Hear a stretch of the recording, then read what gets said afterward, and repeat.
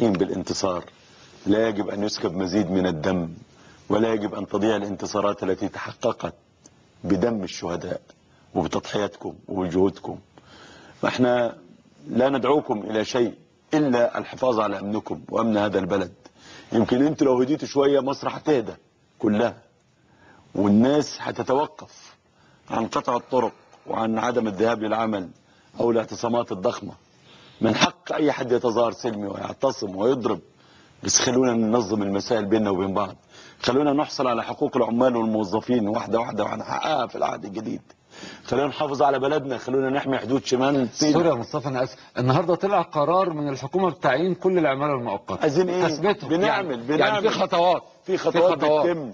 اللي هم اللي هم بعقود أرجوكم. بحق هذا الوطن وبحق تراب هذا الوطن ساعدونا. ساعدوا نفسكم ساعدوا أسركم. أرجو من كل أب وأم أن يقيم حوار مع ابنه وبنته من أجل مصر. نرتفع عن أي حاجة. النهاردة بقت بلدنا في خطر. ما بقاش القضية إصلاح. بقت مصر في خطر. إنقاذ. إنقاذ مصر.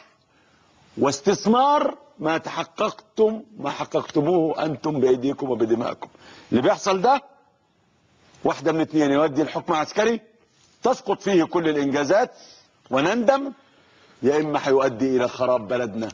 وساعتها مش هنسامح نفسنا ابدا. أنا يعني أنتوا تعلموا إن أنا كنت معاكم من يوم 25 كلنا. أنا ومراتي واولادي ويوم 28 ولغاية امبارح أنا ومراتي واولادي إحنا كلنا مع هذه الثورة وخرجنا وقاعدين فيها ونصاب منا اللي اتصاب وإحنا مستمرين مع هذه الثورة. لكن النهارده الموضوع في خطر. اولا هذه الثورة حققت كل أهدافها. نظام مبارك سقط. حسني مبارك ترك السلطة. الدستور يتم تعديله. المادة الخاصة بالطوارئ سوف يتم إلغائها. كل دي مكاسبكم أنتم. أنتوا اللي عملتوها. أنتوا شباب الثورة اللي عملتوها في 25 يناير. كل ده عملتوها وانتوا في داخل ميدان التحرير. إذا كان ليكم رغبات لسه ما اتحققتش أرجوكم استمروا في اعتصامكم معاكم. في ميدان التحرير. وبكرة الصبح أنا نازل لكم. كحتي خليكم في ميدان التحرير وكلنا معاكم. أنا وكل زملائي. لكن الدخول في مواجهة مع الحرس الجمهوري ده شيء خطير. ده شيء خطير. أرجوكم واناشد مرة أخرى. سياده المشير طنطاوي نحن ننتظر البيان الثاني للمجلس الاعلى للقوات المسلحة. نرجو سياده المشير أن يصدر هذا البيان لحل هذه الأزمة. القرار الآن بيد سيادتك. أرجوك يا سياده المشير تدخل لحماية مصر وأمن مصر وأمن شباب مصر. أنا بشكركم جدا وأتمنى أتمنى من كل قلبي الا يصاب واحد بس أو شاب واحد من إخواتنا أولادنا اللي موجودين النهارده أرجوكم يا ريت كلنا نكلم ولادنا كل أب وكل أم ليه تليفون ممكن يكلمه يقول له ارجع اقعد في ميدان التحرير ما تروحش قصر العروبة. إذا راح قصر العروبة وحصلت مواجهة مع الحرس الجمهوري مش عارفين العاقبة إيه.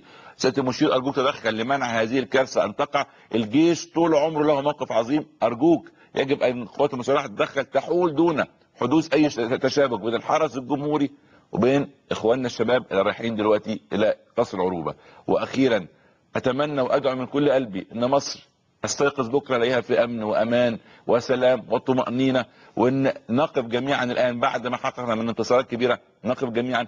ونعود مرة أخرى في خندق واحد متكاتفين متعانقين عشان خاطر نبني بلدنا نبني مستقبلنا نبني حياتنا. بشكركم جدا جدا. معانا وائل غنيم وائل مساء الخير. مساء الخير يا وائل. مساء النور. وطي التلفزيون من فضلك يا وائل لو سمحت. لو سمحت حد يوطي التلفزيون بس. اولا يا وائل أنا بهنيك يا حبيبي وبهنيك وبشد على إيدك وبقول لك أنت عظيم وأنت مفجر هذه الثورة وإحنا كلنا سعداء بالعمل الرائع اللي أنت عملته أنا مش مفجر الثورة بس بصراحة أنا واحد من الشباب اللي اللي حركوا اللي حركوا الناس بس بس أنا مش مفجر. ما تدينيش الله يخليك لا والله النهارده كان معايا والدة خالد سعيد الله يرحمه قالت إنك أنت خالد سعيد الآخر ربنا يوفقك ويحفظك بص يا عمرو عشان عشان نبقى ال- ال- ال- الموضوع يبقى واضح إحنا أنا أنا أنا موقفي الشخصي إحنا إحنا عملنا كل ده عشان إحنا بنحب بلدنا و ومصلحة بلدنا. وأنا شايف إن إحنا حققنا مكاسب مكاسب سياسية كبيرة جدا. آه، ولكن أنا عايز أقول لك إنه دلوقتي ده وقت ال- وقت مهم جدا إن إحنا لازم ما نبقاش بنكلم نفسنا okay؟ يعني لازم ال- ال- ال- اللي نكون بنتكلم معاهم دلوقتي هم الشباب المعتصم في التحرير. لأن هم دول الشباب ال- ال- اللي تعبان وهم دول الشباب اللي شافوا الناس بتموت على إيديهم وهم دول الشباب اللي متضايق وهم دول الش- الشباب اللي كانوا بيطالبوا بالتنحي هم اللي بدأوا المطالبة بالتنحي بعد عدم بتنحي الرئيس مبارك بعد عدم الفعل طلباته. ال- الناس دي النهارده خطاب الرئيس بالنسبة لهم ما كانش كافي لأنه لم يكن تنحي كامل. ال- ال- الناس من ناحية المكاسب السياسية أنا شايف إن إحنا مشينا في اتجاه وخلاص مش هينفع نرجع عنه وهو إنه الحمد لله أخذنا مكاسب كتير جدا. آه، آه، آه، دلوقتي بلاش بلاش نستعجل الدنيا. أنا هعمل دلوقتي استطلاع رأي على الصفحة ونسأل الناس كلها. زي ما كنا بنعمل قبل كده عشان ناخد رأي أغلبية الناس اللي بتشارك في الصفحة. آه، وائل غنيم رأيه شخصي لا يجب أن يفرضه على الناس كلها. ووائل غنيم مش هو اللي راكب الحصان وماسك اللجان بتاع الشباب. الشباب بيتصرف أغلبهم من منطلقات من منطلق فردي. في ناس في شخصيات كتير بتأثر فيهم عقله وكذا بس خد بالك إنه في ناس مرت بظروف صعبة جدا. صحيح. خلي ال- الكلام بعقلانية آه، آه، آه، معاهم بعد كل اللي حصل لهم وبعد كل التجاوزات اللي حصلت لهم يعني شوية أنا عايز أقول شوية عبث. يعني معلش برضو في في تأخر كبير جدا في, في كلام عن محاسبة كل الناس اللي أخطأت في حق الشباب دي. الناس اللي دخلت بالاحصنه وبالجمال وضربتهم. صحيح. والناس اللي ضربت عليهم رصاص حي. النهارده ما ينفع إحنا كلنا عايزين نحقن دماء المصريين. وأنا قلت أنا مستعد أموت بس نموت عشان كوز عشان عشان إحنا عايزين نحقق حاجة. للبلد وفي نفس الوقت عشان عشان بلدنا دي تتطور مش مش هنموت عشان إحنا هنقتل في بعض. فخلينا بلاش الله يخليكم كلكم رساله كل القنوات اللي قاعدة بتتفرج محدش يحط كلام في بق وائل غنيم. وائل غنيم ياخد قراره.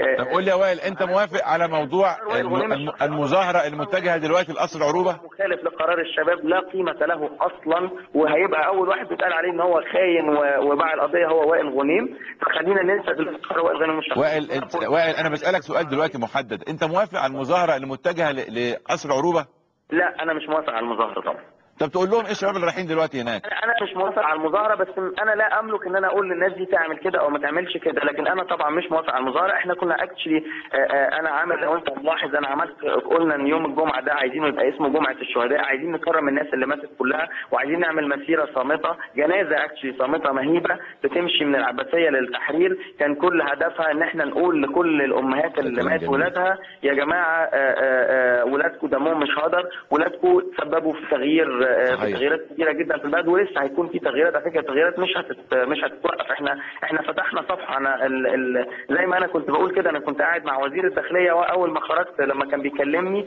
أنا كنت قاعد مع ند الند عمر ده ما كان بيحصل وعمر ما شاب عنده 30 سنة كان بيقف قصاد وزير الداخلية يتكلم معاه ند الند وده مش علشان وزير الداخلية غير رأيه بقى مقرر إنه يسمع للشباب ده عشان إحنا فرضنا الكلام ده عشان إحنا كشباب فرضنا عليهم إن هم يسمعوا لنا وعرفوا إن إحنا لينا قوة ولينا صوت. آه، دلوقتي سيبونا شوية بس ادونا فرصة بلاش ضغط بلاش تحطوا كلام على لساننا آه، ادونا فرصة عشان آه، نلحق ننقذ الموضوع والله يخليك خلوا بلاش نقعد نكلم بعضنا. يعني عارف بلاش نقعد نقعد نكلم بعضنا في التلفزيون. اللي, اللي, اللي واخدين القرارات دي ناس قاعدة في التحرير دلوقتي مش بتتفرج عليك تمام؟ أيوه طيب. عمرو متشكر يا وائل جدا. اشكرك جدا جدا. عموما يعني وائل غنيم أكد على نقطة إن هو لا يوافق على الذهاب إلى قصر العروبة. يعني يا جماعة يعني وائل وأنا بثق في جدا في وائل وفي آراء وائل. أنا بقول لكم وأنا أضم صوتي لوائل أرجوكم عودوا مرة أخرى لميدان التحرير. ربنا يحفظكم ويحفظ مصر كلها. بشكرك أستاذ مصطفى أستاذ مجدي الجلاد بشكركم. يعني كنتم معنا تحملتونا كثيرا. بشكركم جدا ربنا يحفظ مصر ويأمنها من كل سوء. السلام عليكم.